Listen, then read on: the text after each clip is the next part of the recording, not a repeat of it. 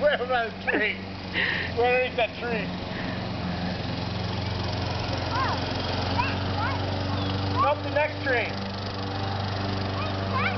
It got me with. You gotta, you gotta try to pull it straight down.